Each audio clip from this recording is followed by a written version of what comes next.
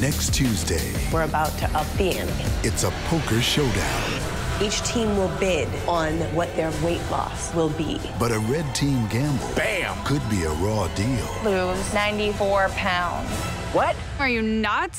This is not gonna happen. Now, Look at it! they're all in Yeehaw, let's go! for the weigh-in. I will take him to the ground. Show me! What did I get myself into? New Biggest Loser, next Tuesday on NBC.